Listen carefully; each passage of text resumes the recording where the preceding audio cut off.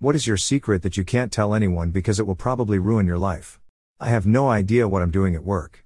The amount of time I spend clicking my mouse on my empty desktop and writing gibberish into a Word doc, that I delete at the end of the day, is shocking. You should write a book, instead.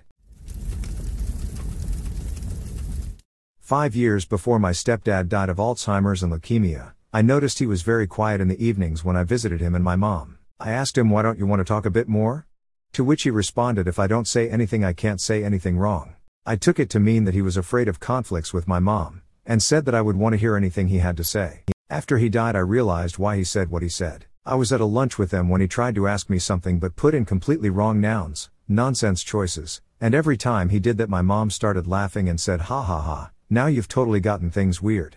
She didn't know she was being condescending because she didn't know he was getting advanced dementia, none of us knew then, and she just brushed his mistakes off as being silly mistakes. She couldn't know it shamed him so much that he stopped talking, since he didn't trust his words anymore, nor his sense of balance. I will never ever explain this to my mom, not even if I am super angry. I would do unretractable damage to my relationship with her, she mourned him deeply. Edit, to the heartless people insulting my mother over this post, she stood with my stepdad to the very end, Sat with him in his room in the nursing home when he sometimes would scream for a half hour in mortal dread as he realized the consequences of his worsening condition. Those days would completely crush her. She suffered more than anyone I know have done, and also saw her own dad die of cancer in her youth, so you know nothing of her sacrifice. We buried him two weeks ago. I'm doing all I can to spend time with my mom at the cabin and cook great meals for her, do chores in the garden. My brother and his wife helps too.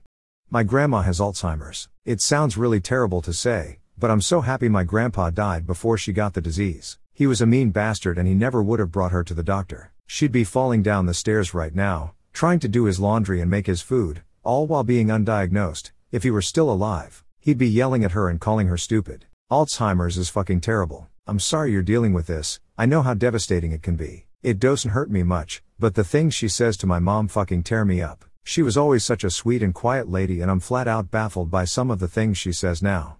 My grandpa was a prick. He changed very briefly after his wife died and seemed like he was turning a new leaf. Got remarried and was back to the same old shit. He kept saying his new wife was acting like a child and was stupid and he'd say it to her face too. She died after about a year of marriage and had become increasingly more inept and bizarre. Well, turns out, they had gotten into a car accident several months prior to her death. Her Australian Shepherd died in the accident so it must have been a doozy. Paramedics supposedly came and suggested my grandpa take his wife to the hospital to get checked out. He never did. She had a fucking brain bleed. That's why she was acting like that, because she was injured. Good riddance to my grandpa. There was no funeral and no one mourned. I hid the extent of my alcoholism from everyone since I was 15. I'm now 35 and 8 weeks sober. No one knows I'm sober now as they've never known I had an alcohol issue. This is me. I'm 27 and 95 days sober. No one in my life knows the extent of the drinking I did prior to getting pregnant in March. I plan to stay sober for my son when he is born and never go back to the place of hiding my alcoholism. Congratulations on two months sober. That's huge and incredible. Since no one in your life can tell you this, I will. It couldn't have been easy, but you did it and I'm immensely proud of you. All my passwords are the same word with different combinations of numbers and punctuation marks. A friend of mine's old roommate used the same answer for every security question, which was I like spaghetti. He said even though he knew what it was, the handful of times he wanted to get on his roommate's computer or into his uni email, he'd get most of the way through, then realize he didn't realize how to spell spaghetti in the moment without looking at it.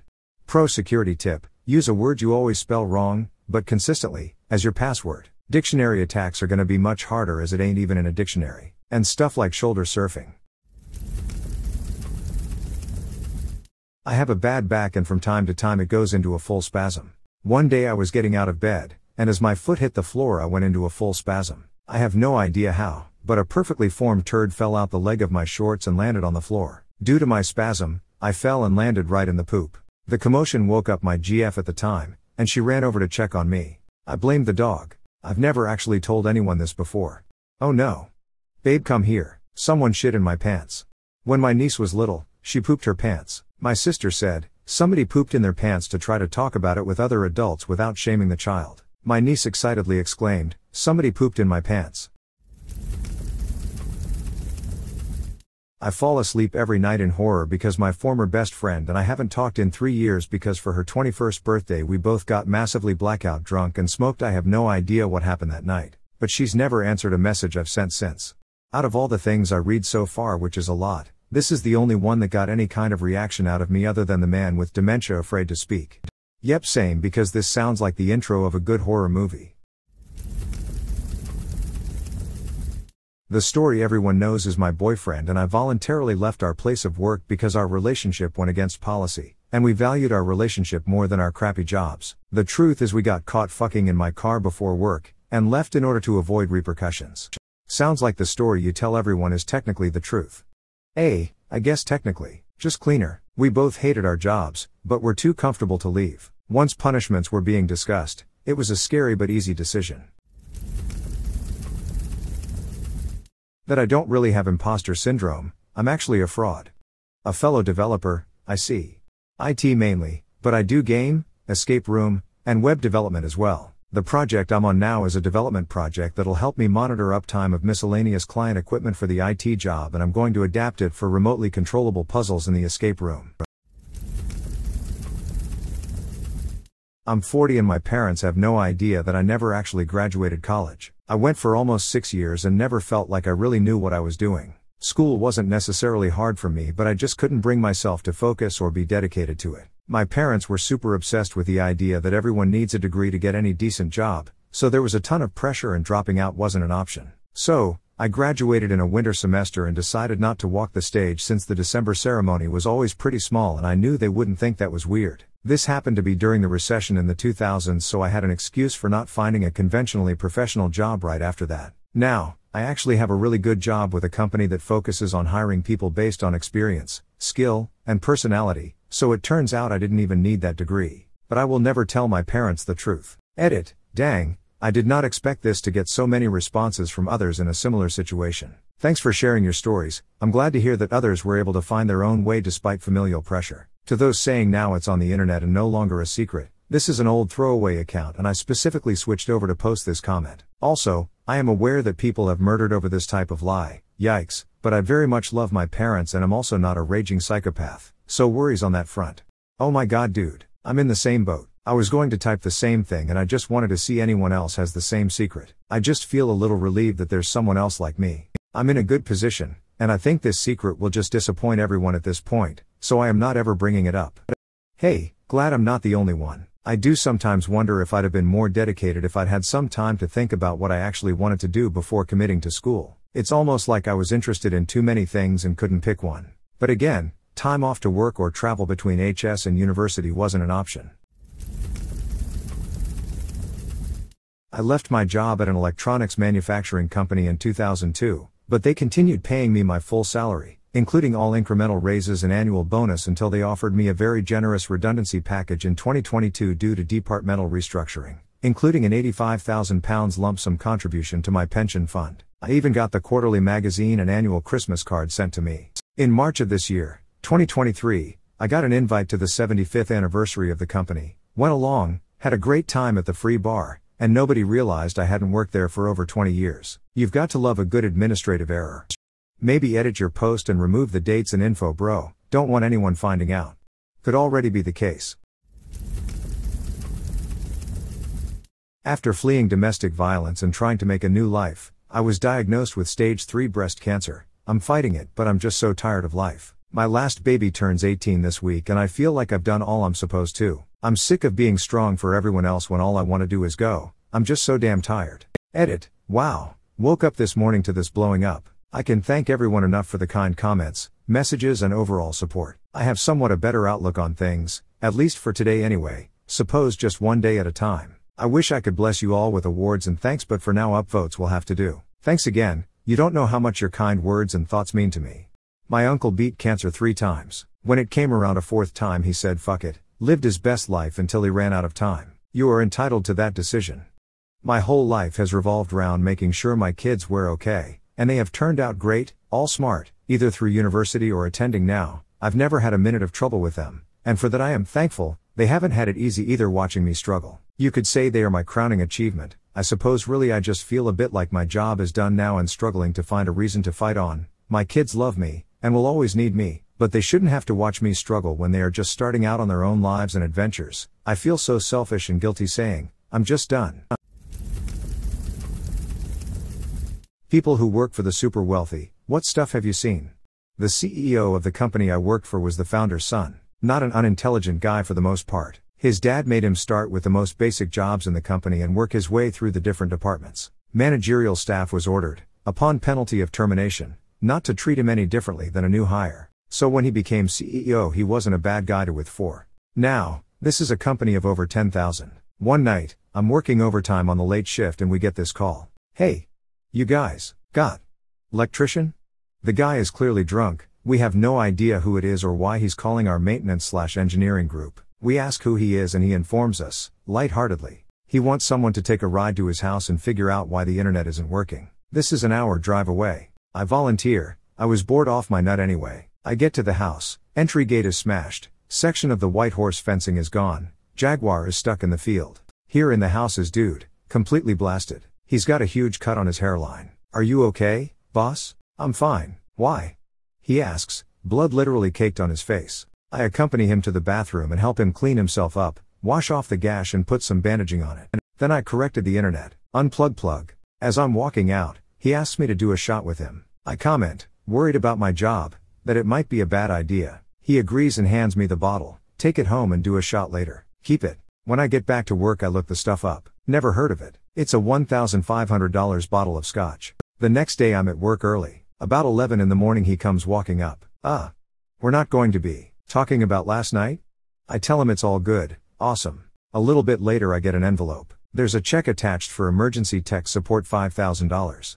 I was getting ready to hate this founder's son slash CEO but I kinda can't given this story. Not his fault he was born into money, sounds like he was raised right, and he at least treats employees right. Emo that makes him miles better than some of the rich as I've met. P.S. Yikes looks like some of y'all got triggered. I'll just say yay drunk driving is very bad, and selfish thing to do. I totally had missed that bit while reading. The founder was smart with those orders to the company to treat him like new hire and make him go through the corporate ladder so he knows how things actually work. Not the craziest thing but wild to me. I was working for a kind of well off family during a summer. I went inside to get a drink and the mom was cleaning the kitchen putting things away and such. She picks up a MacBook and says to me, Hey, do you want this? No one uses it, got a brand new MacBook for college. My mom was a maid growing up, not for the hyper wealthy but for wealthy people. I got so much free shit growing up because of them, it's insane. Clothes with tags on it, boxes of VHSs, I'm old, Game Boys, computers whenever they upgraded. It was actually really nice, because the people my mom worked for were very nice and generous. Sounds like my dad. He was IT for a company owned by a rich guy and the guy would have him test out gadgets before he bought one himself so my dad has always had a new, top of the line smartphone, iPad, laptop, etc. My brother-in-law builds custom homes in the redneck Riviera belt of Florida. One day, he called me to come over to this $15 million beach house he was doing a complete remodel of. He was the original builder. He asked me to bring my truck and trailer. I show up, and he walks me through all four floors. He then says, The owners have removed all the stuff they want to keep. She has told me to dispose of everything as I see fit. Get what you want. Furniture, appliances, outdoor furniture, rugs, lamps, artwork, you name it. I don't know the value of everything I took home with me that day, but it was the highest end stuff I've ever seen. Four floors of it, and I only got one trailer load because I simply couldn't fit anything else in my house. I likely had over $20,000 worth of furniture and appliances on that trailer. Man, I would have rented a U-Haul and storage space. You possibly could have made six figures selling all that stuff. The owner's one stipulation was for personal use only. She didn't want to see it for sale. In her mind, she was giving to the less fortunate even though all the stuff I got went into my $500,000 home.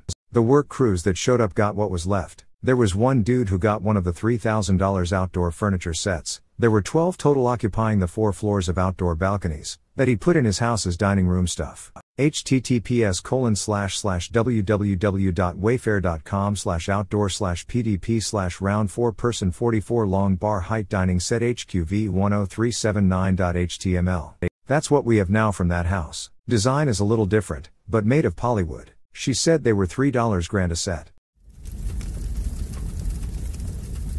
Years ago, I used to work carpentry mainly doing sunrooms. One of our clients was a brain surgeon who was married to a lawyer and they subsequently had a massive house on a large property. Their son was also some type of neuroscientist and with his parents' permission, had yet another massive house built on this same property. Problem is, city ordinances prohibit two separate livable dwellings on the same property. Mind you, these houses were about a quarter mile away from each other. So to comply with the ordinances, they build a fucking wall between the houses. And this isn't just some dinky picket fence type of wall. It's a massive medieval style wall that has round towers with merlons and crenels, a gym midway through, and a massive $750k plus all glass sunroom all the while being wide enough to have room for a walking path and a road for golf carts.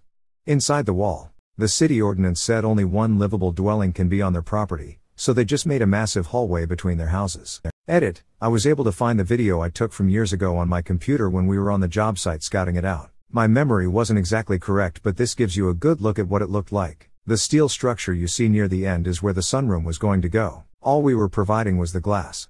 This is the very definition of fuck you money. And the funny part is they aren't even close to the super rich we read about. I used to work at a members only golf slash country club. There were members who had been actors, athletes, race car drivers, former CEO of Google, some major money and egos going on. There was one family that had three teenage kids, two girls and a boy. The mom and the girls were very attractive and knew it. They always looked amazing and had overly entitled attitudes to match. They were fancy. Well, the lady who washed the linens for the county club also did house cleaning for some members. This family was one of them. She said their multi-million dollar home was a disaster filth zone. They basically did no housework in between having the cleaning lady there. Dishes piled with dried food that smelled, dirty clothes thrown everywhere, piles of crap all over, sticky floors, dog poop left on the floor. But the nastiest part was the bathrooms. She said they wouldn't empty their bathroom trashes and the ladies of the house would throw their used tampons on top of overflowing trash so she had to pick up their used women's products thrown on the floor not even wrapped in paper. So these fancy bitches would walk around the club like they were so superior and look down on everyone then would go home and act like wild apes throwing their trash and period products on the ground. The thought of being so out of touch that you decide it is beneath you to even be sanitary BC you can just pay someone to do that for you is just beyond insanity. If you're that rich and you're paying people to come clean for you, why not pay them to come every day? Seriously, wealthy people often literally have live in staff. These guys are either mentally ill or not as rich as they pretend to be. Had a client come into our 3D printing office. His attention was immediately caught by a large industrial 3D printer in our showroom. Pulled out a credit card and bought a $250,000 machine on the spot. Best part was when we installed the machine at his facility. First thing he wanted to print was a meter tall penis. Few weeks after the install, we got a photo of him standing next to the meter penis. Money well spent. First thing I printed with my ender was a penis. To this day, nothing I've printed has come out as clean, though I'm admittedly not great at it. My favorite print so far was a birthday gift for a friend. I combined a vintage Garfield statue with a fat hog. It was a big veiny triumph bastard. Worked as one of four full-time groundskeepers at a large estate. 46 acres of lawn to mow twice a week, two clay tennis courts, three pools, one for the main house and one for each of the two guest houses, 100 plus acre private lake with boathouse. No clue how big the whole estate was including the woods. Personal favorite was the 3 mile personal racetrack. But what really blew my mind was that he hosted his niece's wedding one summer, paid $350,000 to have this massive willow tree trucked in and planted by the lake for wedding photos, only to pay another $50,000 to have it removed and the landscaping returned to its original state after the wedding because he did not like the look of it. I've always wondered, can you actually move and resoil massive mature trees? Like if you see a gorgeous massive tree on a hill somewhere and you're thinking, man, I wish I'd have this tree in my backyard, does it mean you can actually do it? Take it out with roots and all and replant it somewhere else?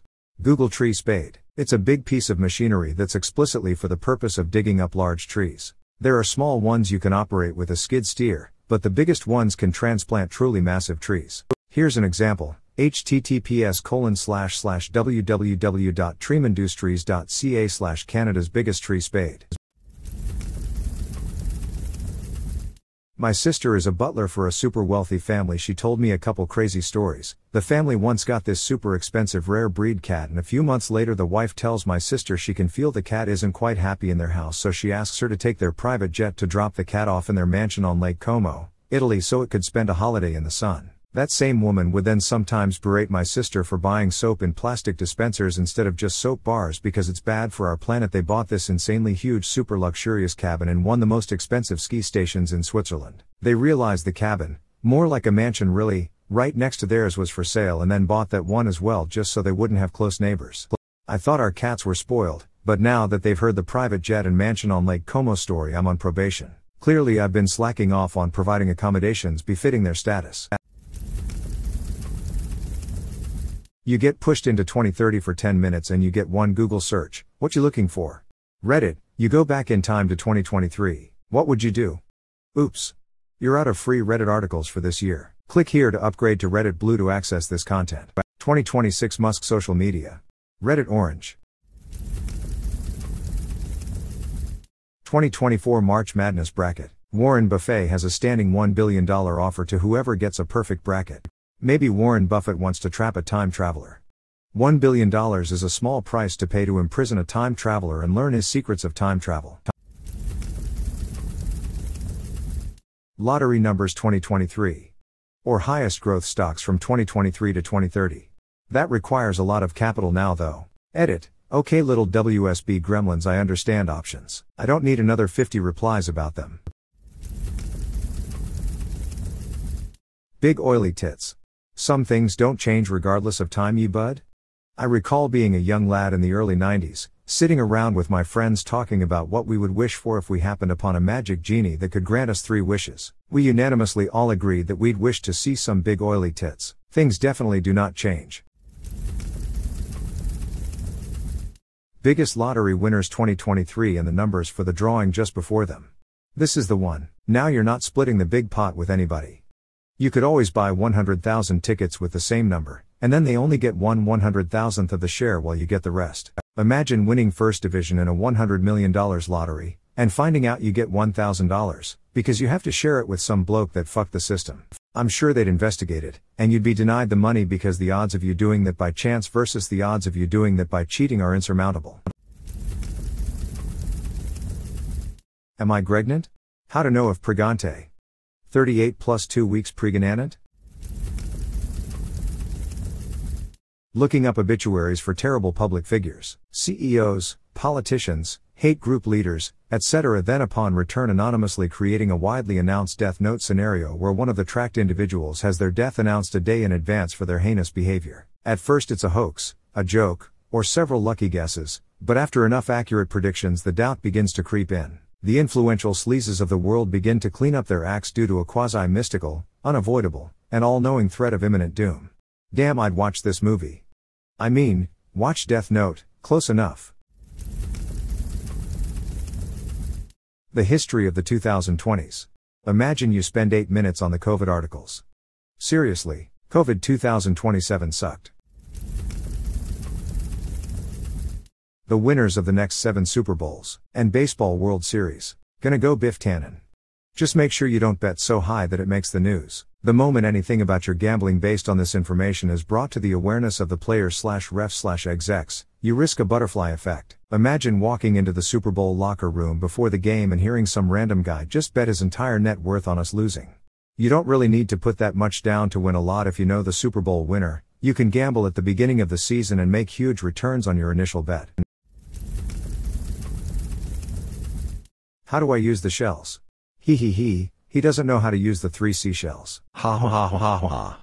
Ha ha ha ha ha um but FR where's all the toilet paper? Has George R. R. Martin finished the series?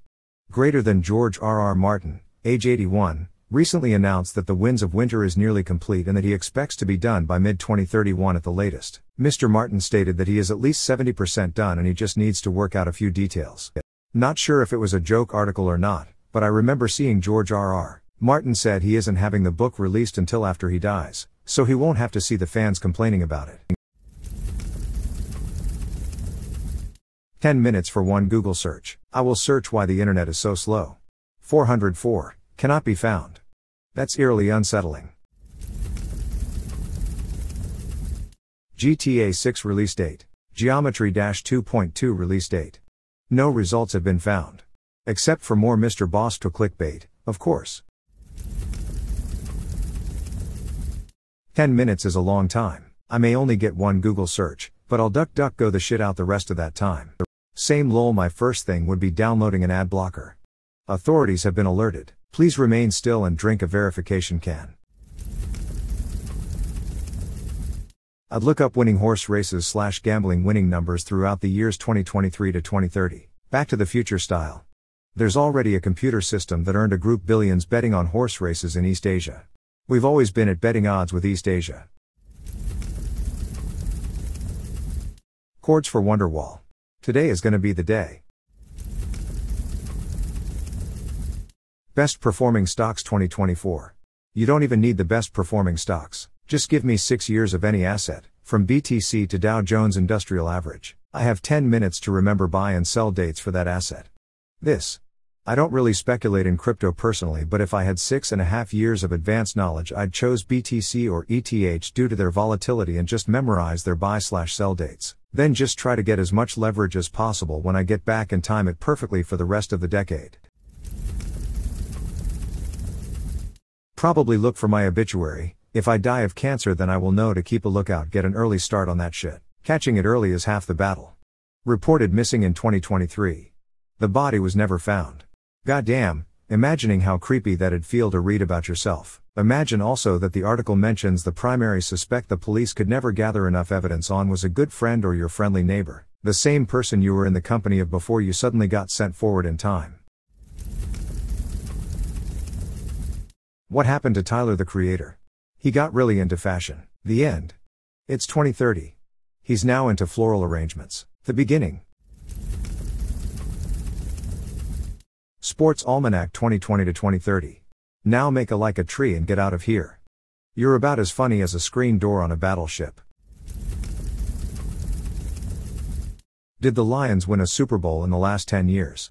Two guys from Detroit are driving on the lodge, slip on black ice, and die. They go straight to hell. Satan decides to pay them a visit. He goes to the Detroiters' place and sees that they're having a great time in their new home. He says, Guys, this is hell, you're not supposed to enjoy it. They tell him, Well, it's so cold in Detroit, we're just enjoying the heat. Satan, furious, goes to the boiler room and turns the heat up. On his way back to the Detroiters' room, the other souls are begging him to turn it back down. Upon arriving, he notices that they are laughing over a barbecue. Seriously? Says the devil. It's several hundred degrees and you're out here making hot dogs? Well, the weather is just so nice we couldn't skip a chance to get the grill out. They tell him. Satan is pissed. He goes to the boiler room and shuts it off. He turns on the AC. Hell becomes colder than it's ever been recorded on Earth. He goes back to the Detroiters' place and sees that they're crowded around a TV throwing a party. What in hell are you doing? You're not supposed to enjoy this. What do you have to celebrate about? Says Satan. The two Detroiters look at him and say, Well, we figured hell froze over, so the Lions must have won. Alternatively, the potholes must be all fixed. What is the price of Bitcoin? Chart of Bitcoin price in US dollars 2023 to 2030 fixed. Russian Ukrainian war consequences. Vladimir Putin wins posthumous Nobel Peace Prize for ending the war by poisoning himself with cyanide, shooting himself three times, wrapping himself in a carpet, and jumping into the Malaya Nevka River. Oh, those Russians. Nasty sluts. Hey yo, what if your girlfriend pops up? All the better. Best investment the last decade. Sounds like an easy way to get a bunch of random get rich quick schemes. Big tits near me plus granny plus Fortnite plus Burger King. I'd definitely go inside that store. Find out the best rated movie, Write down the plot and claim copyright when it comes out. Copy paste the entire transcript of the highest grossing film of the mid late 2020s, and publish it onto some obscure, but dateable corner of the internet, in your name of course, as well as make it your copyrighted work. About a month after the, the movie releases, email the movie studio's law firm. Instant multi multi million out of court cash settlement. Joke's on you. The script was written 15 years ago and shelved until the technology was invented to film it. Your suit is dismissed as clearly you copied their script, not the other way around.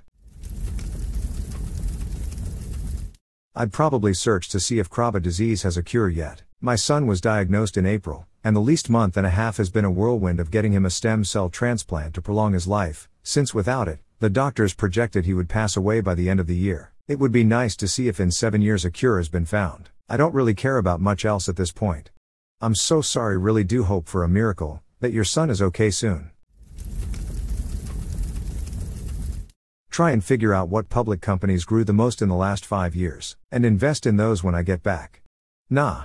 Only really tiny companies can grow by orders of magnitude, and that's what you need to change your life by investing. But investing significant amounts of money would change their course, so it doesn't work out. Lottery numbers it is. Medical professionals of Reddit, have you ever had a patient so lacking in common sense you wondered how they made it this far? If so, what is your story? Rural ER doc here. 35 year old female walks in with right sided jaw slash neck swelling. I think it happened because I ate some meat yesterday that my body is reacting to. 10 minutes later, oh yeah, and I accidentally swallowed a bee and it stung me in my mouth right before this happened. Sorry I forgot to mention that. A friend of my mother's died from a wasp that got into his drink. He swallowed it, it stung him on its way down, and despite having no allergy to stings, the swelling was enough to close off his airway. Okay, new fear unlocked. I am already paranoid about bugs going into a drink can and I won't drink anything I left unattended a while, but that. That's just awful. Edit, tons of replies. Just want to say I'm even more horrified now. This is not as rare as I thought. Not me, but my wife, who is a vet, had a client who got mad at her because he didn't realize that once he neutered his dog that he wouldn't be able to breed it. As someone who worked at a vet office, I am completely unsurprised. We once had to explain what smegma was to very embarrassed owners of a new puppy who brought him in for discharge around his penis. Not to mention the countless people who bring their cats in asking about a lump only to be told it's a nipple. And then you occasionally get the inevitable, but he's a boy. And have to explain that male mammals have nipples too. Like, ma'am, you are married. Have you never noticed your husband has nipples before? I miss working there. I'm just happy these people bring their pets in for medical care, even if it was nothing. Better than the opposite, which I think there are more of. Had an adult male patient who needed a Foley catheter. His mother was in the room, and they both lived together in the backwoods of TN. I informed them both of the order for a catheter, how it works, and why it was needed. His mother stated, Well, he's still a virgin, and I'm not sure I'm comfortable with his virginity being taken in a hospital. I hope that was just a joke. Hell, I'd tell that joke. I wish it was had to have a delicate conversation with this woman to explain that I was not taking her son's virginity. Not me, but my mother would pick up shifts as a nurse sometimes in labor and delivery, and she had met a handful of women who didn't know the baby was going to be coming out of their vaginas. Like, no clue. My mom usually said something like, How you got it in is how it's coming out, honey. This was the late 90 early 2000s. I'm a social worker and one of my clients literally kept getting pregnant over and over after having kids. And I had a frank conversation with her about birth control or getting her tubes tied because she kept going through horrific births only to get her kids taken away and she actually said to me that she didn't know that birth control or safe sex would save her from getting pregnant. She didn't realize that sex equals pregnant because she was sexually abused as a child and her father told her that she could only get pregnant when she's in love, and she had never been in love, so she didn't understand why she kept getting pregnant. Sex was only pleasure for her, so she didn't realize that was what was having her get pregnant. Edit, typo. God, that's awful. That poor woman.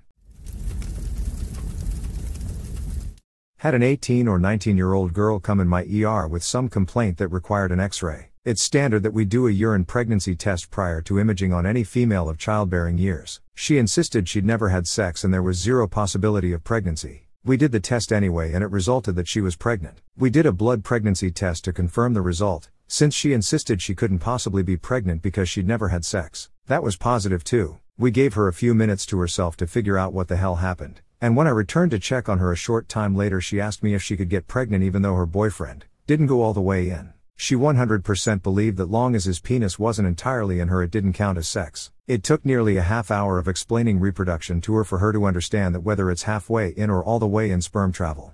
What do you call guys that use the pull out method of birth control? Fathers.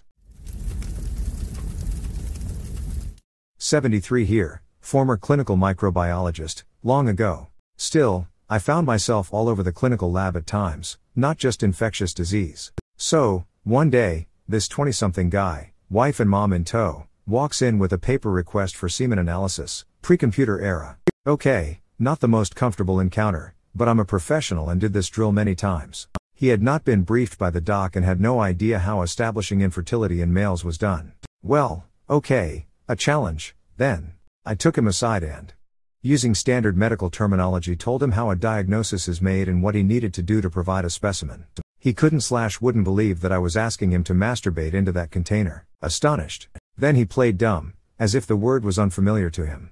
We looped through the medical terms and procedure again, and I eventually resorted to every word I knew to describe the act. It was like a George Carlin bit. A half hour later, he emerged from the toilet with two inches of urine in the cup. God Almighty. The report went back patient provided improper specimen.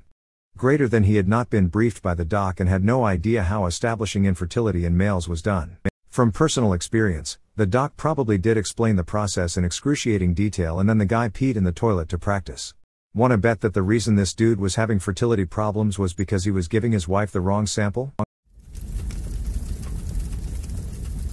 Not a personal experience, but one from a colleague of mine, I only saw the pics. So this 60 something year old suffers from an acute complication and gets a pacemaker to solve the problem. Everything goes normally and as planned, he recovers, every care and meds that he needs to take are prescribed, explained and medical appointments with a cardiologist slash arrhythmologist are scheduled so that he may get the follow-up he needs. The man then proceeds to never show up to any appointment and never answer any calls from the hospital to know of him and reschedule. This went on for around three years, until he shows up without former warning and asks to talk with the doctor that did the procedure to put his pacemaker. People are weirded out, but seeing that on that day the doctor was present and this patient was in clear distress, they talk to him and manage a couple of minutes to have the doctor check on him. Inside the appointment room, the doctor takes notice that this man is wearing a bra inside his shirt. The man explains he has been wearing his daughter's bra for three months after his problem got worse. The shirt is asked to be taken off and there he stands, the shirtless man wearing his daughter's bra, showing off the pacemaker, that should have been kept inside his body, dangling outside of it, being held by the left bra cup, with a big infected open wound above it with the pacemaker lead still inserted onto his veins and connected to his heart. Nobody has any idea how the man let that situation come to be or how he didn't die of sepsis or any other health problem that may appear for that matter. TLDR, man gets a pacemaker, doesn't show up to appointments. Three years later comes to the hospital looking for help, wearing his daughter's bra for three months, to serve as a holder for the pacemaker that got out of his body from his infected open wound. It is insane how sometimes people die because of a single knock to a certain part of their skull, and then other people will have an infected open wound leading to their goddamn heart and only get concerned after a few months. Hey yeah doc I'm carrying all my organs around in these buckets, do you have anything for when my hands get tired? I'm a pharmacist. One evening shift I was working a relief shift, not my usual pharmacy. A man comes in looking distressed. Man, I had sexual relations with a woman I do not intend to pursue a long term relationship with. Yes. He said it just like that. Me. Okay. I'm assuming there was an accident or it was unprotected. How long ago did it happen?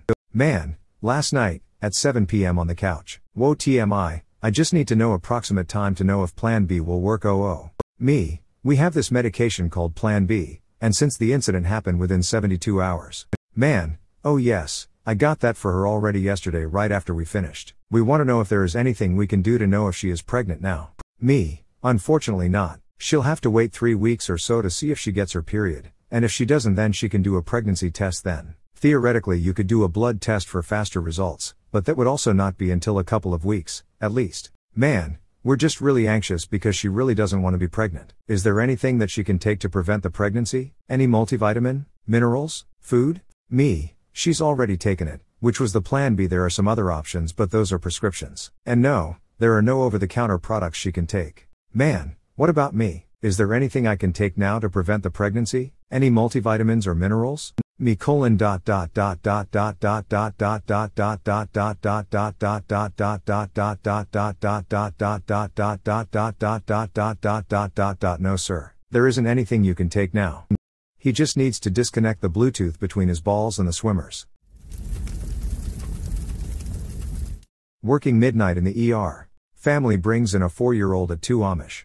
I ask them what is wrong. Them, ask him, the four year old. He said he needed to see a doctor. Me, did he say anything was wrong?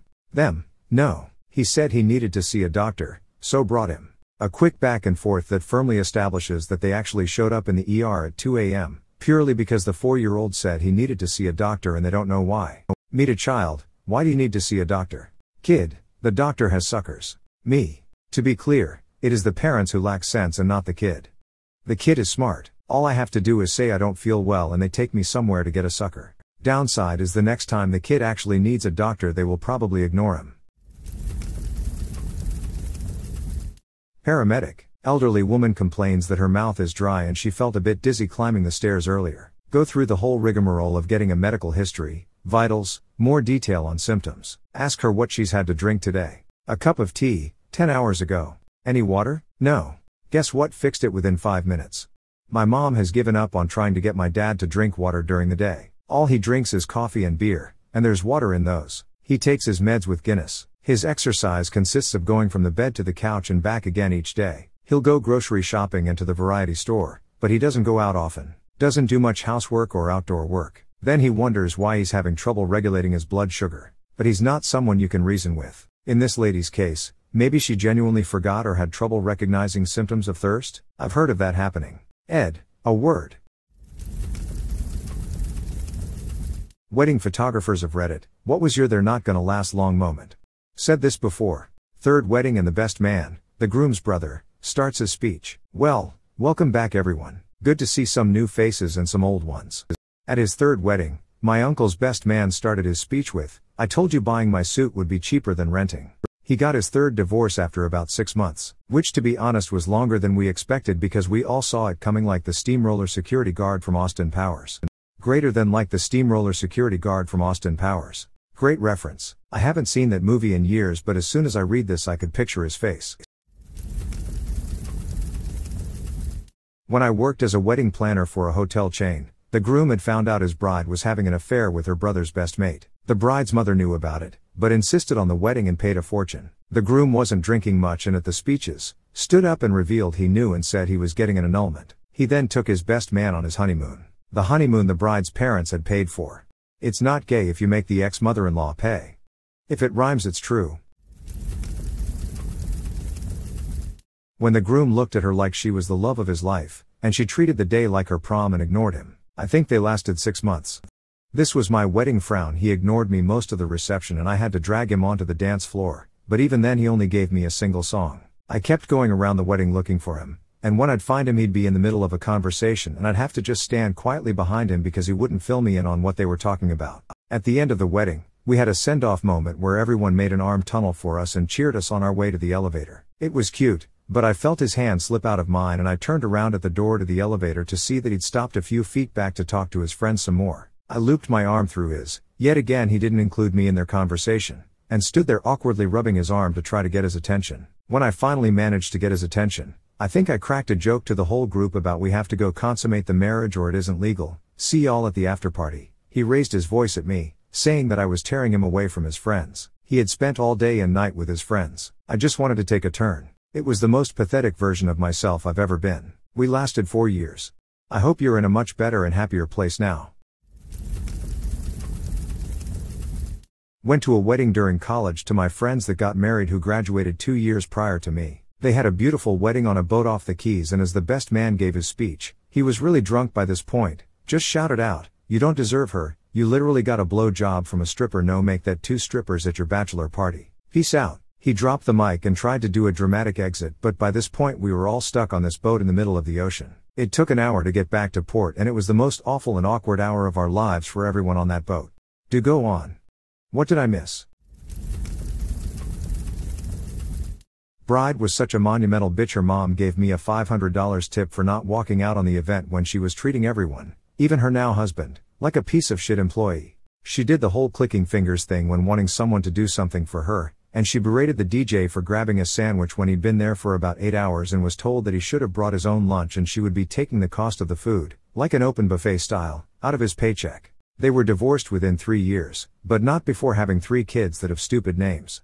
Greater than having three kids that have stupid names. Dear Hunter, go tell Jaden and Bronxana that dinner's gonna get cold. I'm pregnant with our first and I'm now adding Dear Hunter to my list of name proposals. Not only does this add weight to the names I want my partner to lean towards, but also it will make him laugh.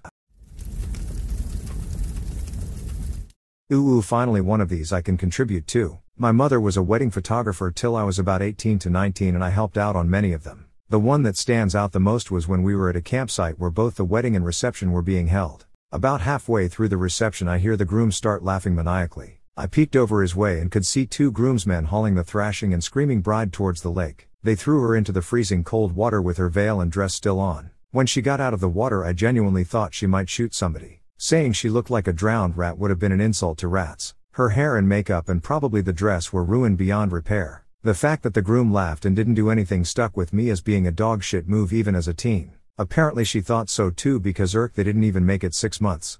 That's one of the most horrible wedding stories I have ever heard in my life. Not just because they threw her in the lake, but also because depending on the weight of the dress, the cuts of fabric, and the depth of the lake, she could have easily drowned. I was thinking this. I helped my wife out of her dress once the night was over and was surprised with just how heavy that thing was. It would have been insanely heavy when wet. I can only imagine that the reason she walked out was due to the complete rage fueling her.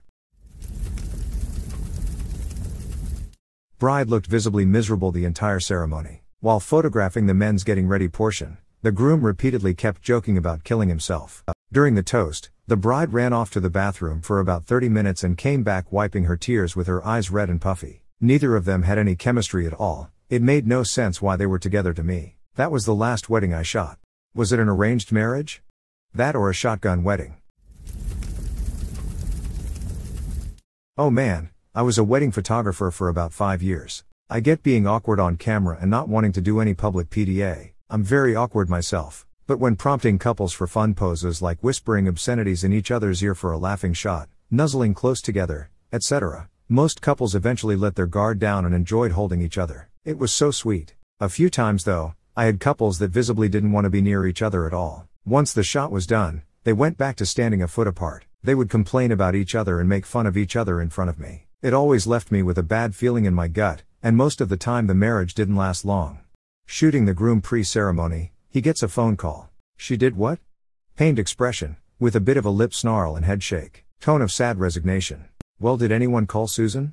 I'm sorry. I'm sorry. Long pause while the other person talks. I'm sorry. No, I can't say anything like that to her today. No idea what it was about, but he looked like he had a mix of this as my life now and contempt. They lasted a few weeks and after splitting agreed to split all the remaining wedding bills. He paid his half. Then found out a year later that she never paid her half and sent me the rest. I sent it back and told him he'd already paid enough for that mistake. We still have a beer or round of golf every year or so, 20 years later. Good dude, bad judge of women.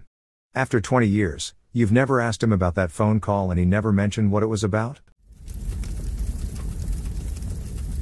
I think my first clue was when the bride showed up with some bad makeup clearly trying to cover her black eye, while most of the rest of the family seemed far more into the free food and booze than the wedding itself. Oh yeah, never paid me either. Classy people. Yikes. Any idea if she ever got out of that marriage? Not really, it was a small town slash rural area and this was pretty much the norm. Groom didn't want to participate in any wedding pictures after the ceremony. I believe he was more interested in drinking beers with his buddies. I don't think they lasted a year.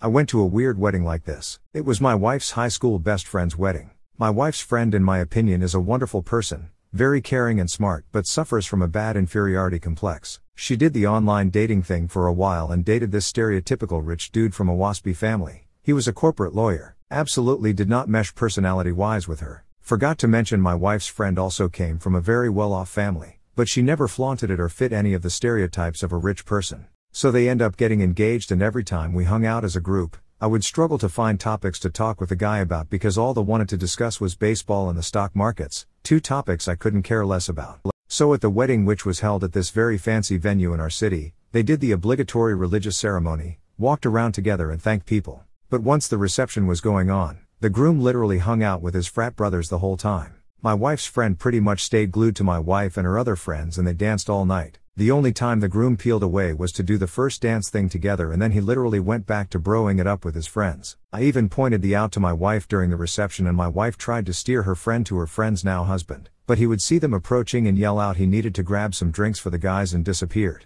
This is the worst part. At the end of the wedding, the expectation is they would leave together, right? Nope. The groom said he and the guys were going to go out around town so he could say a final goodbye and he will meet his wife at the hotel later. I was fucking blown away at what a horrible fucking match he was. Was this an NC? I swear we may have been at the same wedding. If not, it's sad how scary similar this story is. The worst part was at the end of the reception, the bride was going around asking everyone, Have you seen my husband?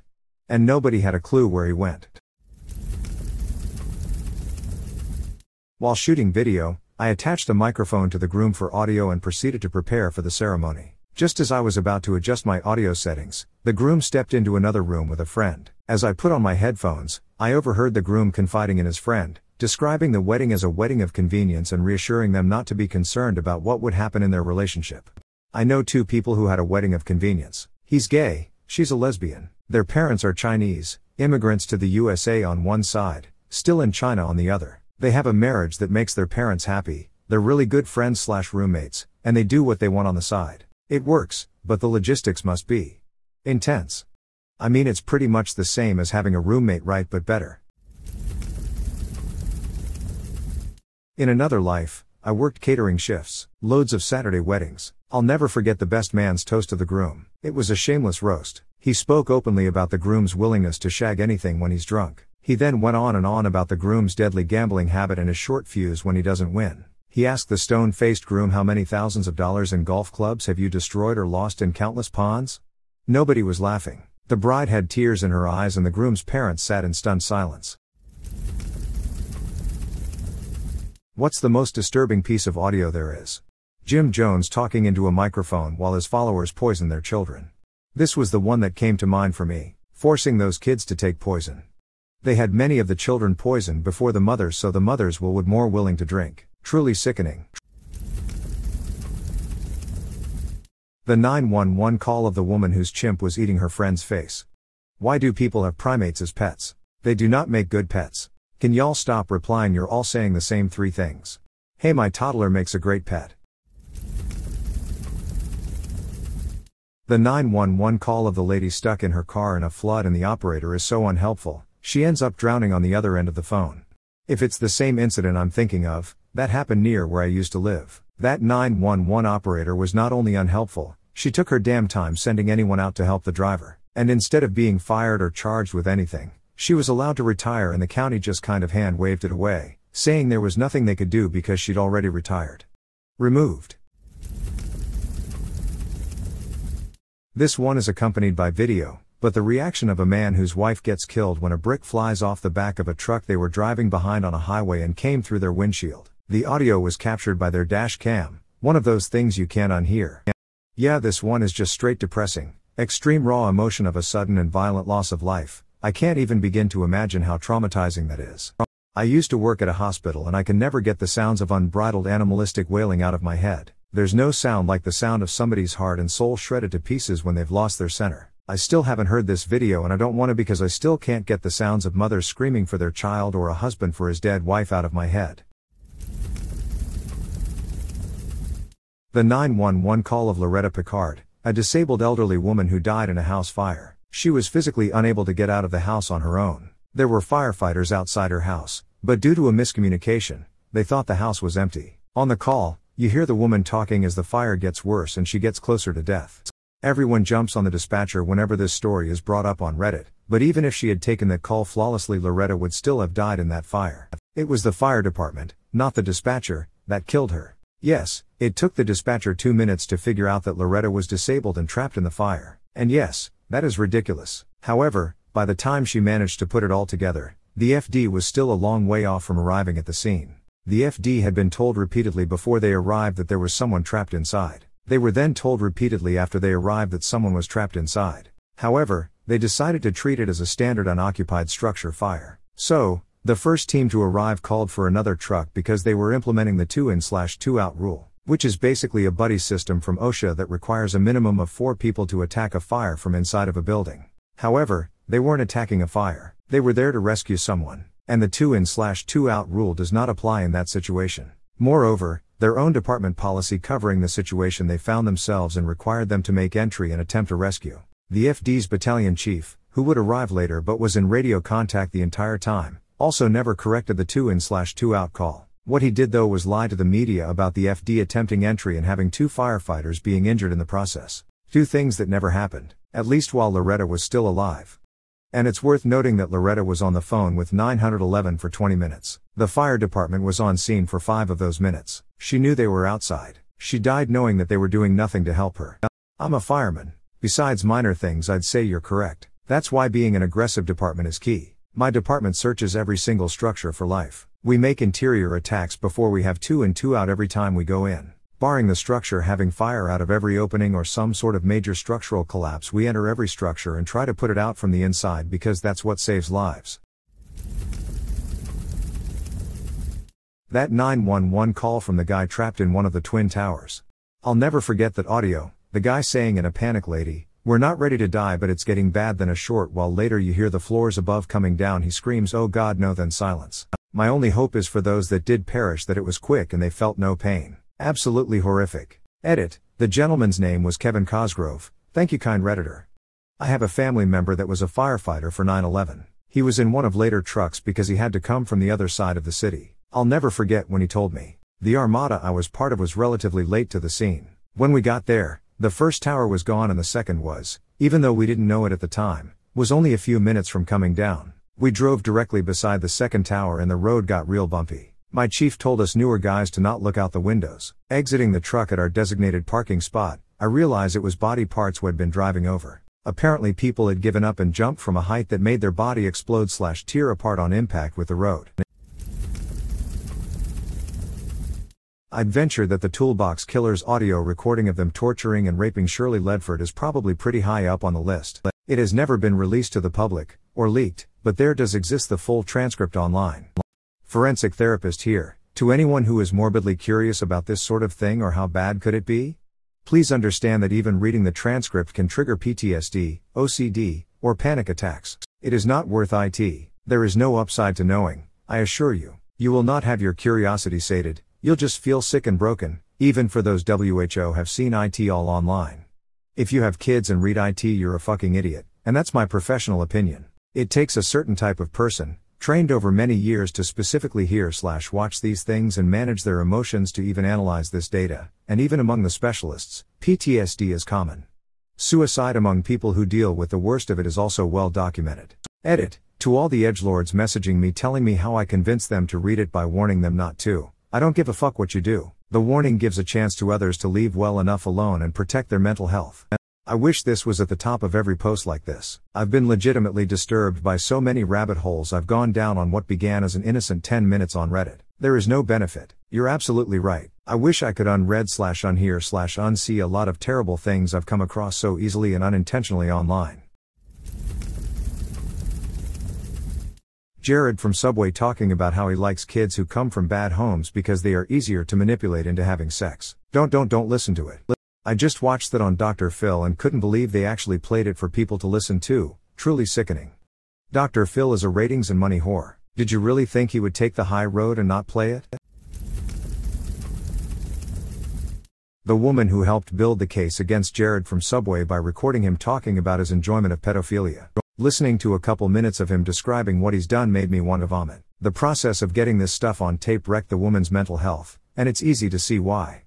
That documentary was tough to get through. That woman proves how unstoppable a mom protecting children can be. Absolutely disgusting things, and she pushed through to help get the arrest made. True hero. And then on the other side is the two girls' mother, that sold out her daughter's privacy so that she could blow horses for the pleasure of other men. The weepy voiced killer. He killed women, completely mutilated them, and proceeded to call the police while crying about what happened and how he can't stop himself. Then he'd hang up and do it again. Did they catch him? Deleted.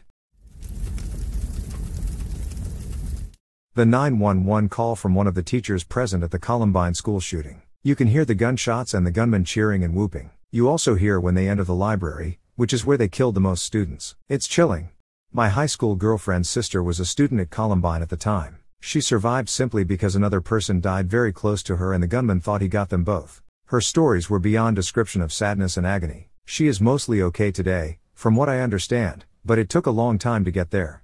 I'm related by marriage to a survivor. She knew the shooters very well. She was in the library that day. She survived only because she had been nice to them. They told her so as they killed the girl next to her. Survivor's guilt is real, and can be devastating. The 911 call from the attack of Travis the chimpanzee. Travis screams can be heard in the background at the start of the tape as Herold, owner of Travis, pleads for the police, who initially believed the call to be a hoax until she said, He's eating her. Remind me of a news story I had read. A teen went camping with her father, or stepfather, and they were attacked by a bear and her cubs. The bear left and came back while the teen was on the phone with her mom. The teen at one point said, Mom, they're eating me. I cannot imagine how awful that must have been. Yeah, wasn't this in Russia? She made multiple calls and the last one was telling her mom she doesn't feel any pain anymore. The cult leader from the documentary Keep Sweet, Pray and Obey, where he records his rape of a young girl in his secret room in which only the most devout followers are allowed. It's haunting. Well, I'm taking this out of my Netflix queue. I want to clarify they do not play the whole thing, they only play a piece leading up to the rape. You do not have to hear that, but what they do play is still sickening. The Apollo 1 crew. Those guys were the coolest, calmest, most extensively well trained former combat slash test fighter pilots in the world, and all they could do was scream. That audio kept me up the night I heard it the first time. I worked at the National Archives long ago and had access to the transcript, predictably mostly screaming. Irk the document itself had an attachment saying the audio had been destroyed out of respect for the families. Though I had some doubt of that, only today, 20 odd years later, learning that wasn't true.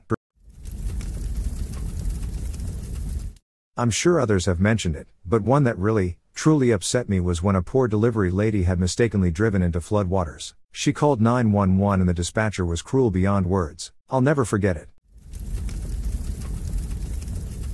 If it came out that we were 100% living in a simulation, what would be the biggest indicator looking back?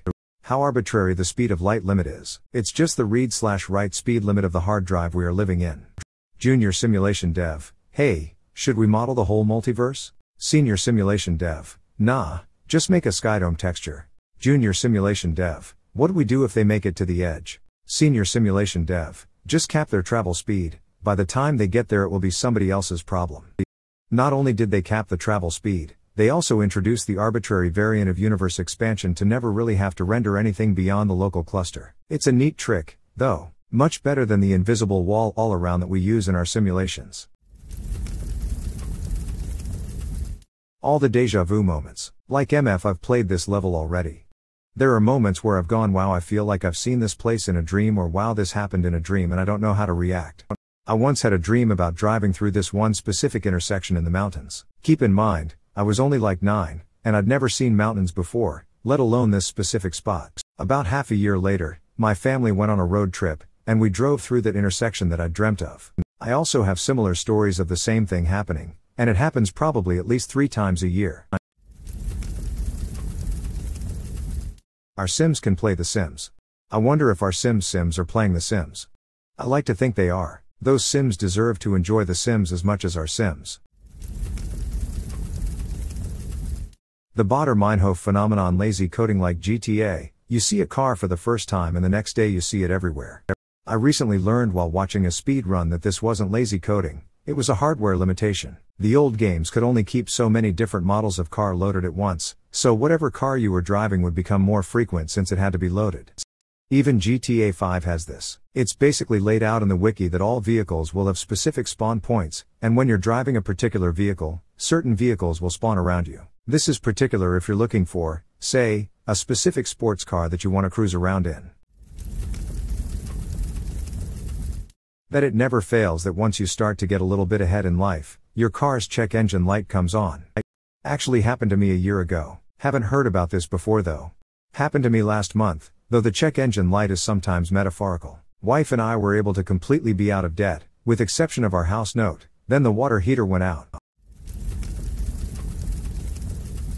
Long, but super weird and inexplicable. I know how this sounds, but I swear this really happened. I was a childhood bookworm. While the other girls at a fifth grade sleepover were playing air hockey and dancing around to Let's Hear It for the Boy, I'd pulled a creepy looking book off my hostess shelf and huddled into a beanbag chair in a quiet corner of her family room.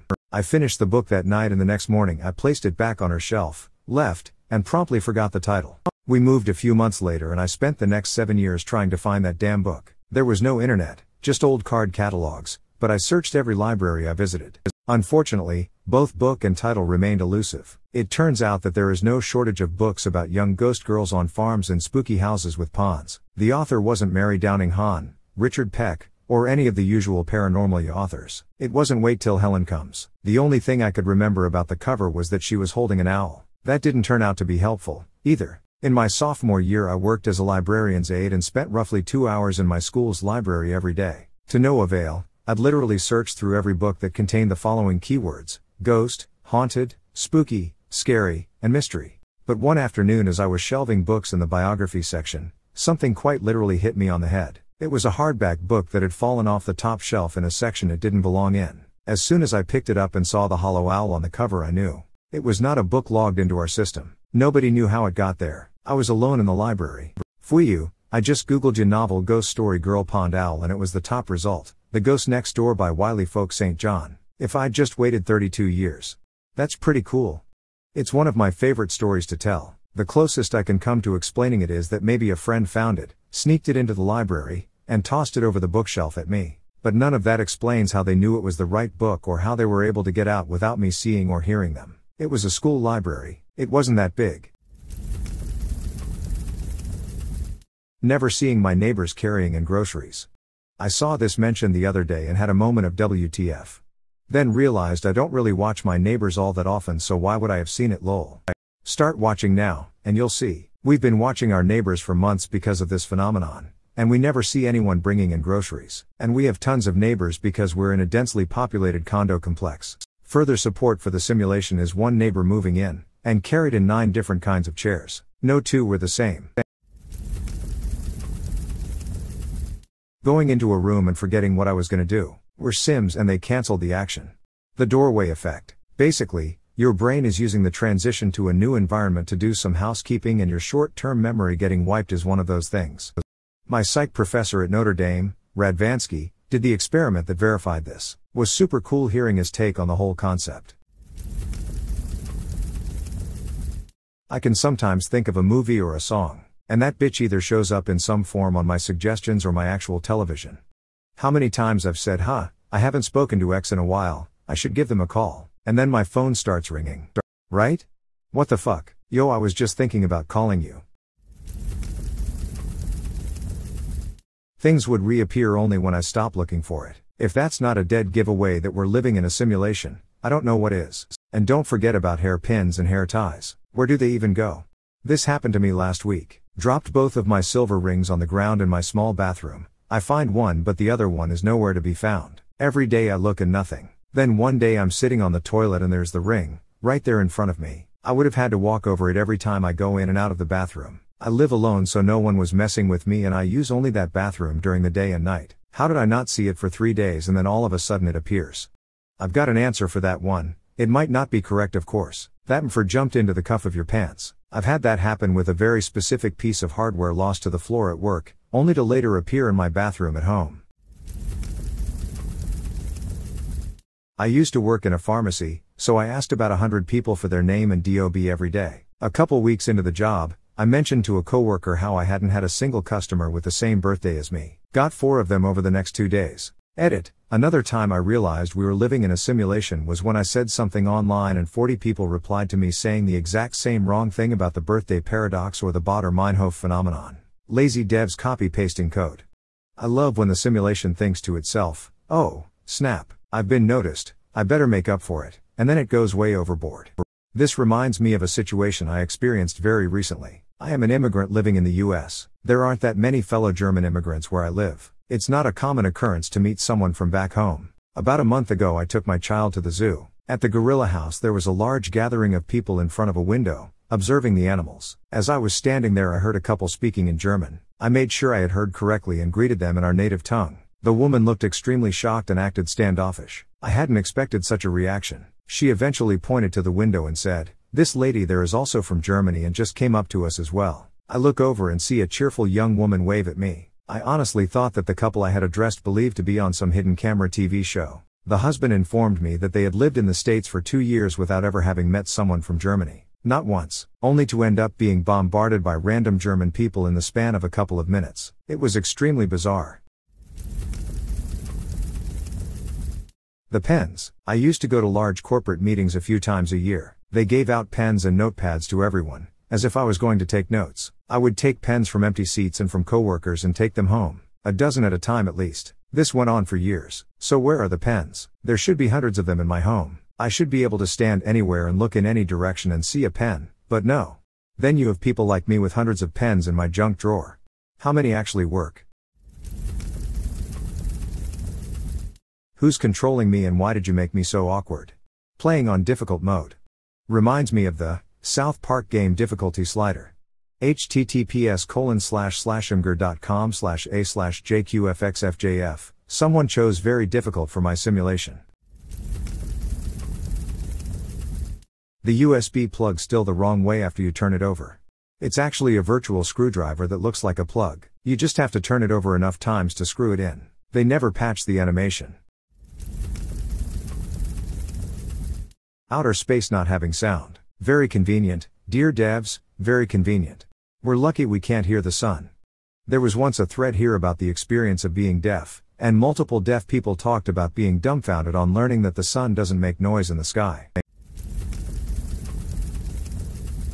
For me, the fact that there are humans or conscious beings on a planet capable of understanding the concept and rarity of a moon performing a total solar eclipse it's an incredible coincidence that intelligent life is able to see a solar eclipse from its host planet by its satellite moon when it wouldn't have been able to if you went back in time millions of years, or even in a billion years into the future as the moon is drifting away from us. It's also weird that we are rare enough to have a moon at the right distance from the Earth, with the sun being the right diameter and distance from the Earth and moon to be able to be covered and still display a corona. Like, are we just the luckiest people in the universe or what?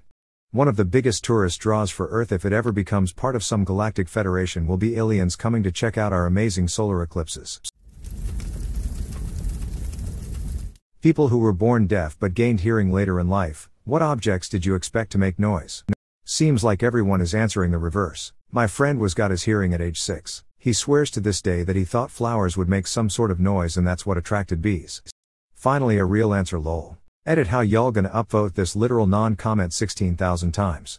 Yeah, this is what I open the thread for. Not me, my good friend who's hard of hearing told me about how before he got hearing aids, he thought that all fridges made a beeping sound, like an alarm, when you open them so the house knows when you're getting something. Turns out his mom just told him that to stop him from eating all their snacks.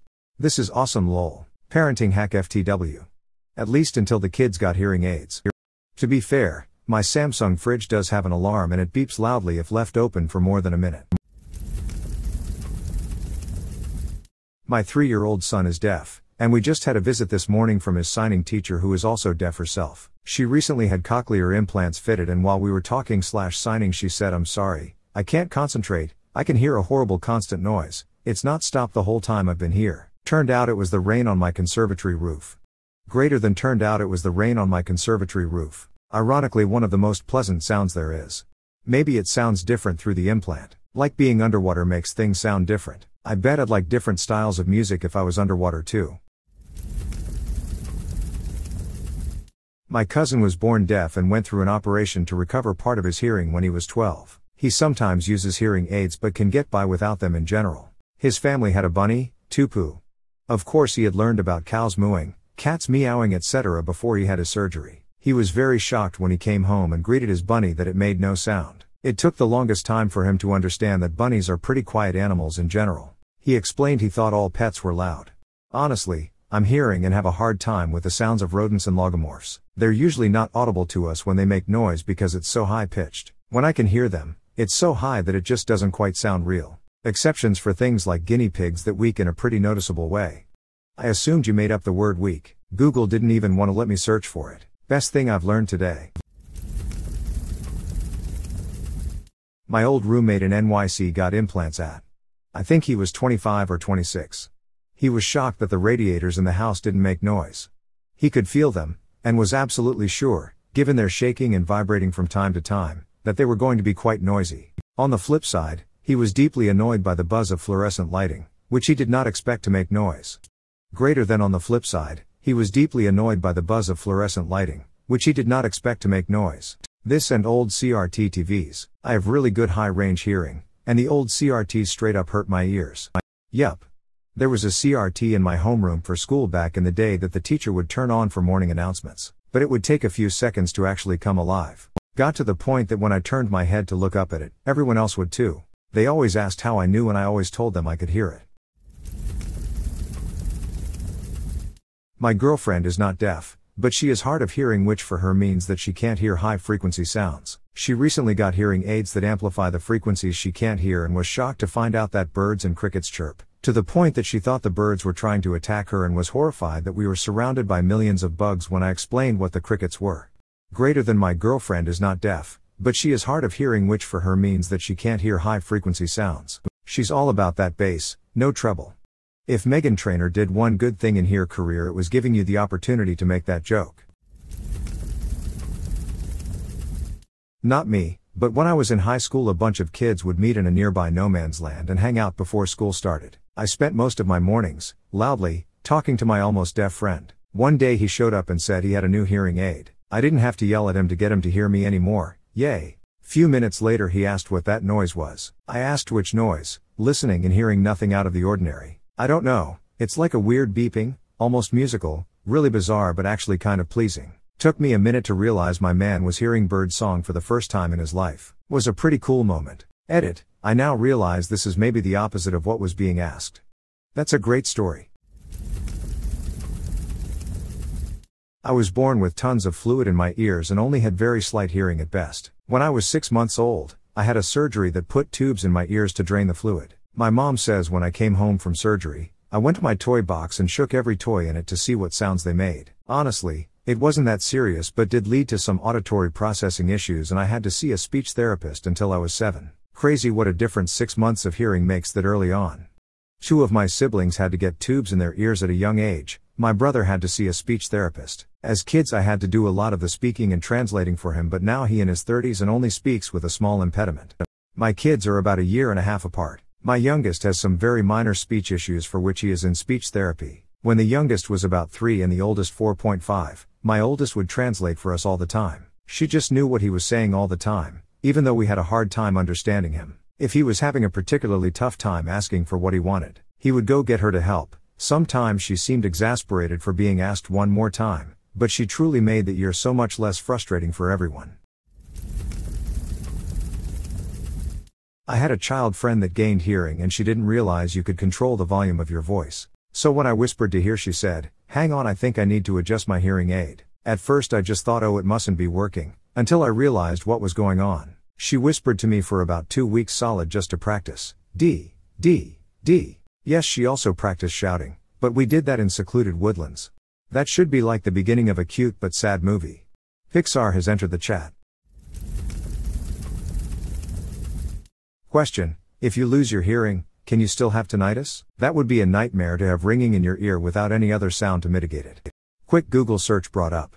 Being hearing impaired doesn't exempt you from these kinds of sounds, unfortunately. Deaf people are more likely to have tinnitus. In fact, it's thought to be linked to the damage that caused the deafness itself. Oh darn. That's trouble for me as I age. Hate my tinnitus.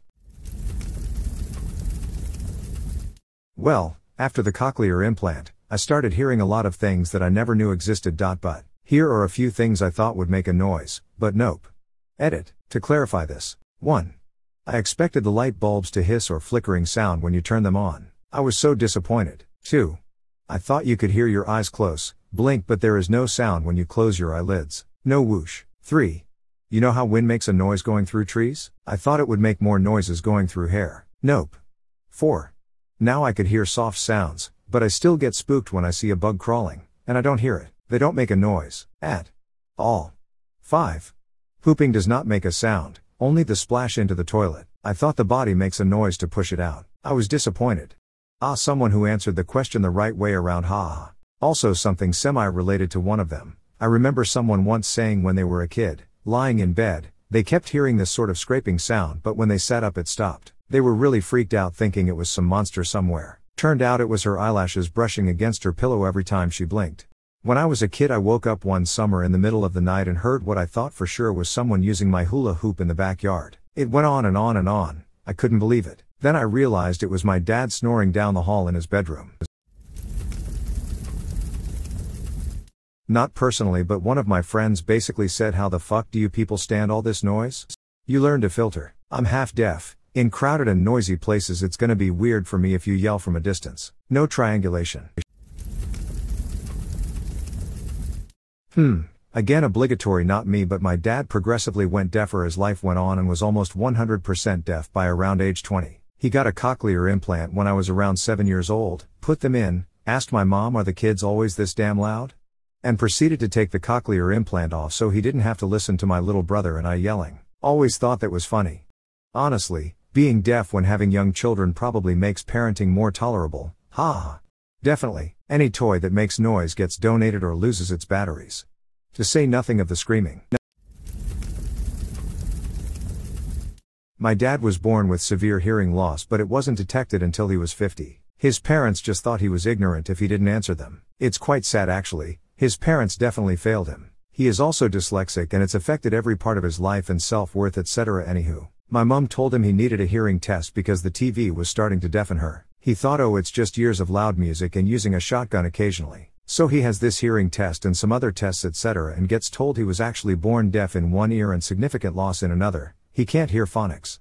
You can imagine his problems through life. He finally gets hearing aids and the first day he sits down to eat a packet of crisps. He absolutely flips out. What the F is that noise? Holy SHXT my head is exploding. We had to explain you can hear the crunching of food etc and some foods are louder than others etc it was heartbreaking to see what he's missed out on. Now he only uses his hearing aids after a good nag from my mum. We still have to put up with his noisy eating but he's back to ignorance is bliss lol. My wife always had terrible vision, but her mom and dad didn't take her seriously. By second grade, mom finally took her to an optometrist, and when she walked out with her first ever pair of glasses, yelled, Oh my god, there are leaves on the trees. That's the green part? Oh my god, grass are tiny individual leaves too. Until then, she only saw trees and grass as a blob of green. Mom cried. I think the vast majority of people who first get glasses comment about trees having leaves. I know I did. When did you realize you married the wrong person? When I realized if we weren't dating, I wouldn't have wanted to be his friend. This hurts. I realized that I was hiding good news from her because I knew she would make me feel bad about it. I hoped she was going to grow up and stop being selfish and childish. She never did. This was my ex. As soon as I graduated and starting chasing my dreams, I would withhold telling her any small wins or successes because she was so insecure. She was never genuinely excited for my wins or goals.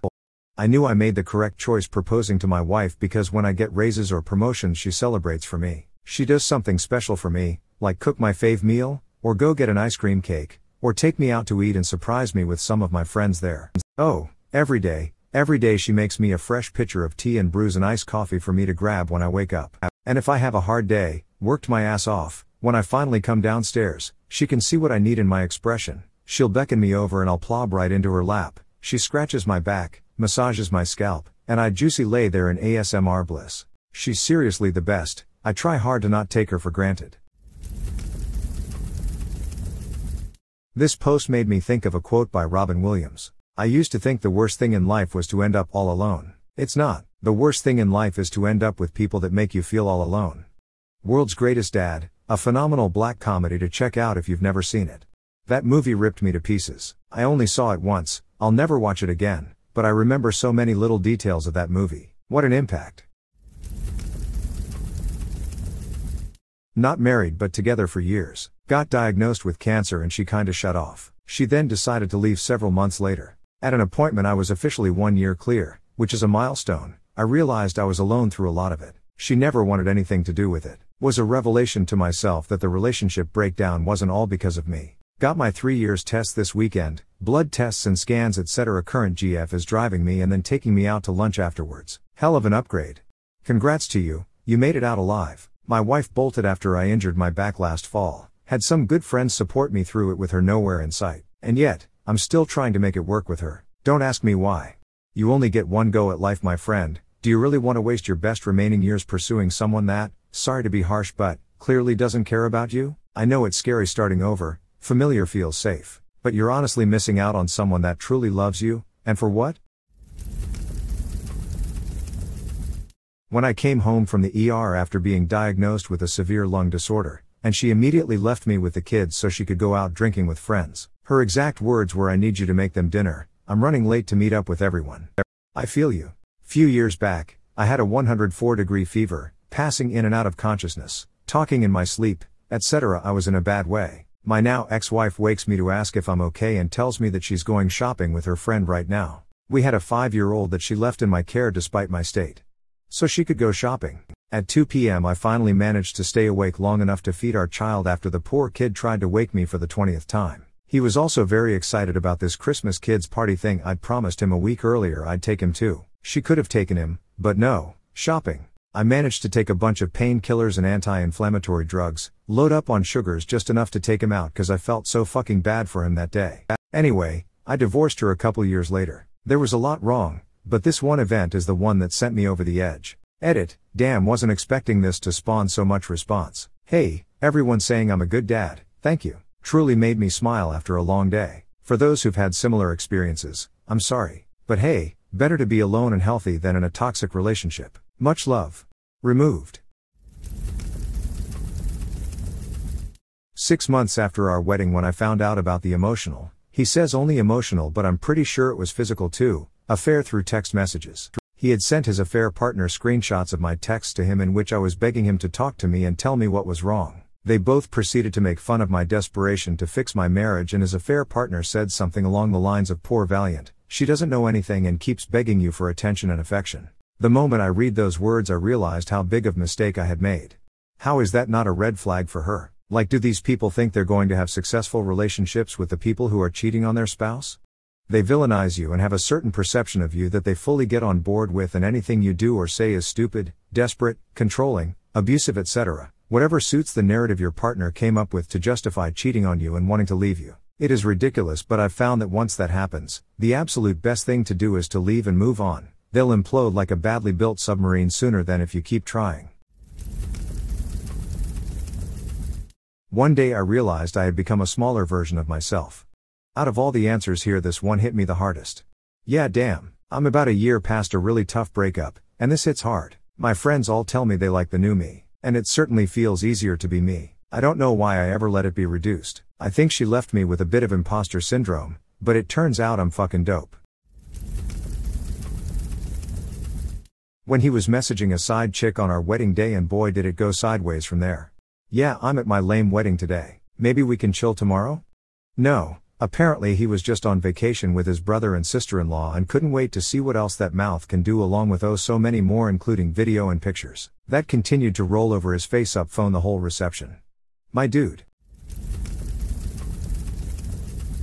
When I lost twins and he dropped me off at the hospital to get an operation to have my babies removed. He dropped me off at the hospital bleeding and went for a party with his friends. Edit. Fix typo.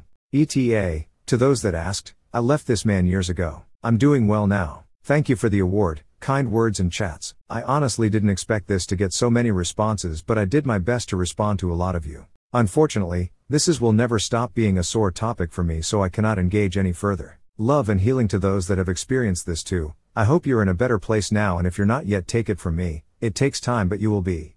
I'm so sorry for your loss, that's awful. Thank you. Engaged, not quite married yet. When I had been on mandatory bed rest and caring for our infant son, after having emergency surgery for nearly bleeding to death after a miscarriage, and he came home from work and looked me dead in the face and said, Why aren't the fucking dishes done? Called my mom the next morning and told her I was leaving. Hightailed it out of there two weeks later.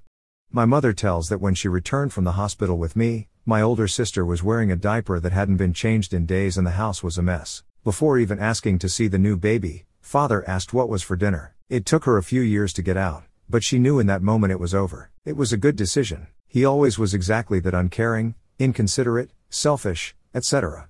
This angers me to read. I realized like five years into our 19 year marriage.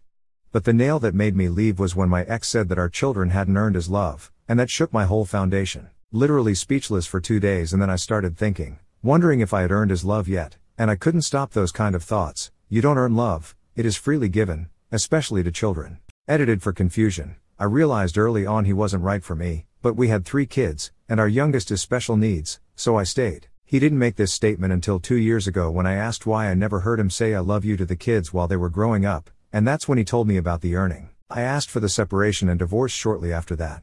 Children have earned your love as soon as you put them on this planet. That is the least they deserve. Yes. Or please don't put them on this planet. They don't deserve to not be loved. Ada, there are too many ways to mess up children. When I got her to admit she was having an affair. 10 years married, two kids, what a mess. She followed it up a month or two later telling me she never loved a person like she does with new partner. So welcome to divorce land. Population, me. I'm here with you. Same story. 23 years married, 4 kids. He never actually admitted to the cheating, even with all the hardcore evidence submitted to the attorneys. Just said it was all my fault. I was a horrible person, horrible parent, horrible wife, horrible human. Yep, his cheating was my fault. After almost two years of intense weekly betrayal trauma therapy, I am in a better place. But I will never trust or be with anyone again. I wouldn't survive another betrayal. Hugs, stranger. Therapy is wonderful, time is even greater. I understand completely, it was years before I felt whole again. It does come, though.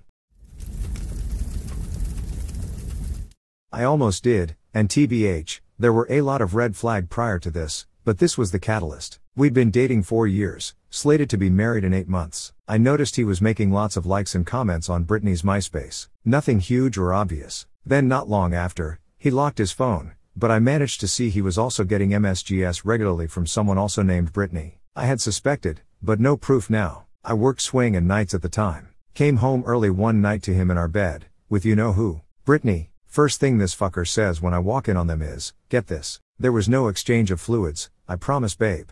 Later Brittany got a hold of me on MySpace, we met up. She had no idea I was even in the picture. We're still friends. I kicked him and his fluids out of my house. The end. ETA, Brittany let me read all over their correspondence via MySpace and text. She was very upfront about not realizing he was with someone. I will admit Brittany was not exceptionally bright, but he had this thing all worked out. He stuffed all my stuff in a closet, even removed photos of us from the walls. I don't wear makeup, and at the time didn't own much stuff. We were poor, I was the only one working. He kept getting fired for sexual harassment. Red flag, I know. He also kept the house dark while they watched a movie, then moved to the bed. Said it made it romantic. Ada too, to clarify, I knew he sucked in keeping a job. He kept getting let go. It wasn't until this shit show happened that I learned why he had been fired from previous jobs. I will freely admit though, I was naive and ignorant. There were a lot of signs I should have noticed. First and foremost, how he actually met me. We worked in the same retail store, and he made a lot of advances and borderline lewd comments to get my attention. I didn't pay attention to the fact that he also did slash said these things to other women I worked with. I was 18 when we met, not used to getting any attention from men,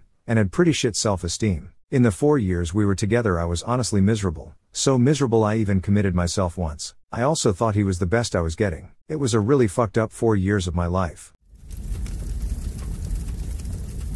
Parents who tried their best to raise their kids to be good humans but they turned out to be jerks, what do you wish you did differently? You don't have to win every power struggle.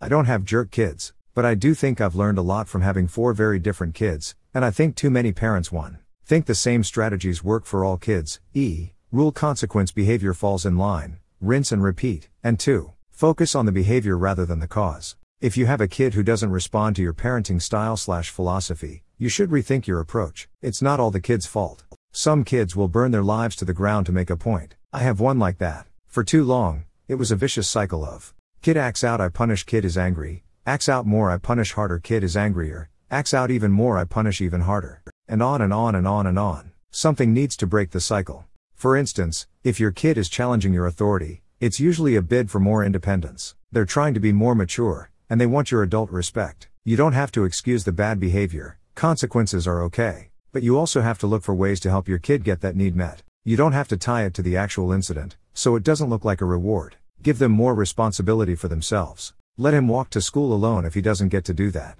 Quit bugging him so much about what he does with his free time. Even if you think he should be getting more fresh air, look for any opportunity to let him choose something. We're going to do something as a family on Sunday. You can choose what we do, or where we eat or whatever. Don't tell him when he has to do his chores. Let him set his Saturday schedule. I need you to mow the lawn and do the dishes today. You can do it any time between now and 6 p.m. If you address the cause of the behavior, it's going to do way more to correct a bad behavior, and you'll also get more respect from your kid. If you insist on winning every power struggle, your kid is going to see everything as a fight. Edit. I need to give my wife credit for helping me understand this over the years. She's not only a great mom and wife, she's also a really good therapist. She's gained a lot of perspective working with other kids and parents and working on those relationships.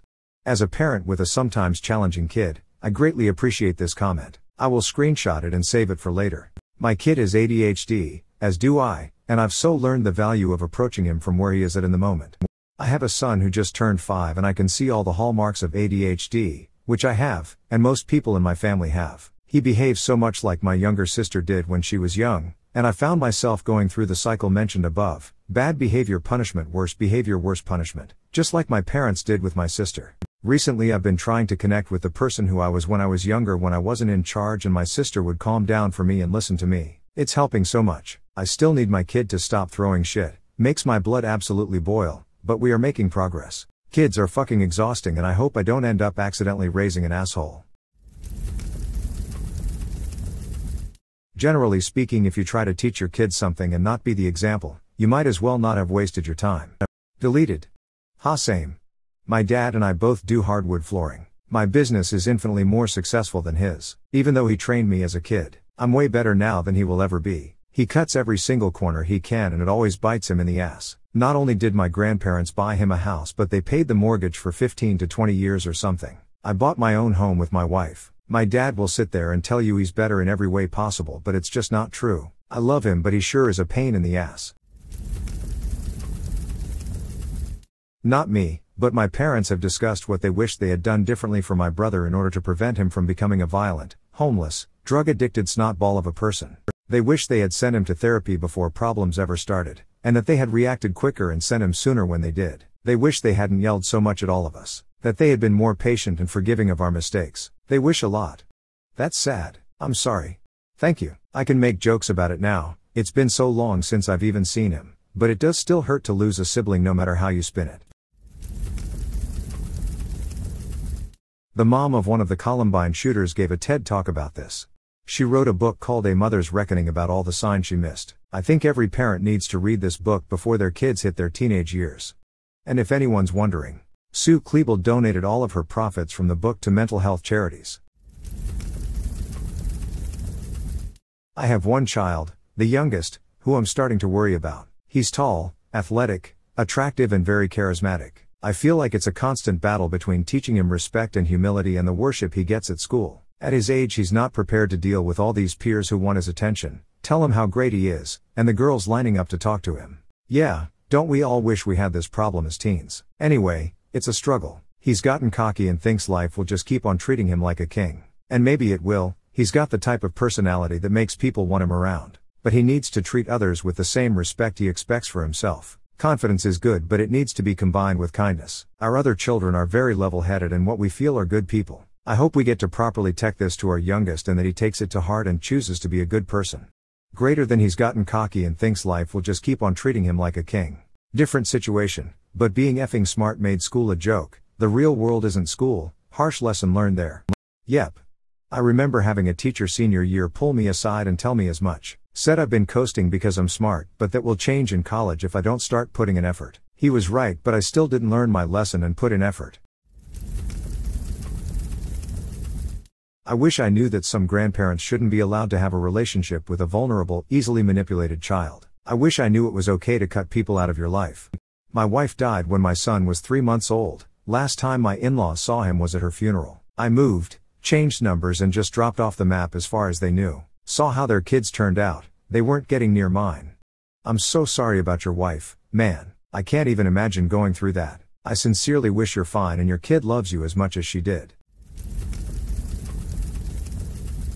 I'm speaking as a teacher, but I've seen wildly different siblings. I think parents need to get a handle on that dynamic. A lot of perfectionist older siblings and younger ones who can't achieve at that level and act out instead to find how they can earn attention. Yep.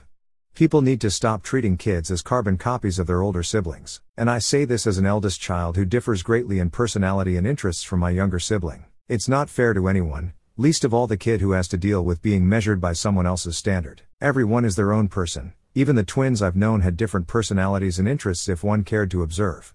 Same. I was a high school senior when my younger sibling was a freshman. Everyone expected them to be exactly like me when in reality we were always polar opposites. Definitely was a very negative influence for them. In my opinion, the one defining characteristic of bad parents is being resentful of their own children. Resentful that they took some of their freedom, resentful of their youth, resentful of their opportunities, resentful of their intelligence, resentful of their beauty, resentful of their possessions, resentful of their education, resentful of their accomplishments, resentful of their happiness, etc. I think this is far more common than most people realize. These parents may consciously provide for their kids while they unconsciously sabotage them. The kids pick up on this and end up aspiring to their parents' unspoken expectations. Good parents want their kids to exceed their own achievements and, most importantly, to be happy. Good parents are empathetic to their children. They're happy when their kids are happy. They're sad when their kids are sad. Resentful parents don't really want their kids to be happy unless they credit the parents for their happiness. No achievement belongs to the kids, but every failure does.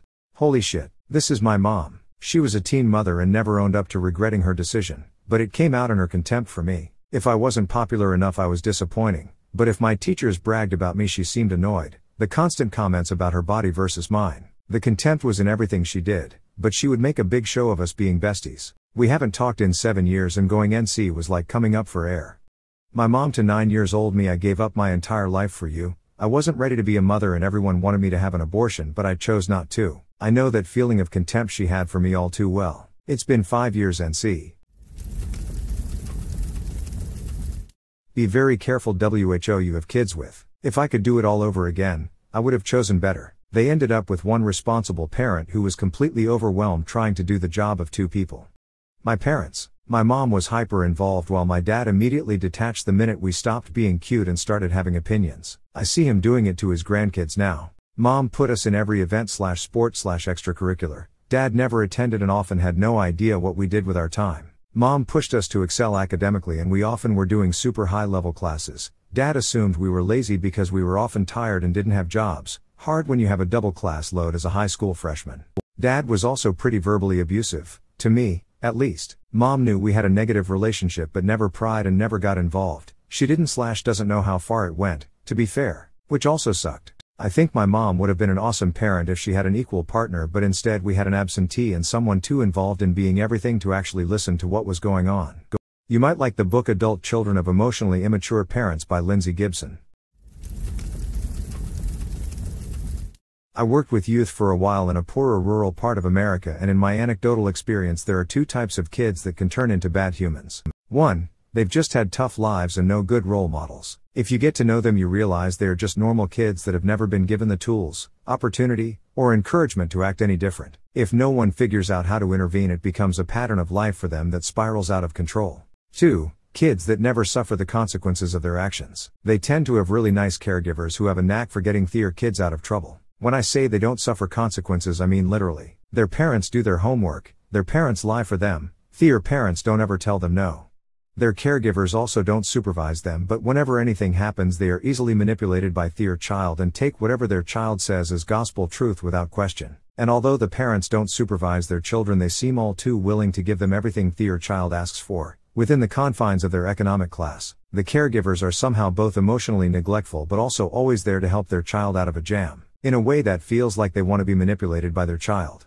Kids in the first category will do something bad and you go, how could they be so stupid? When kids in the second category do something bad, your reaction is, it's only a matter of time before they kill someone.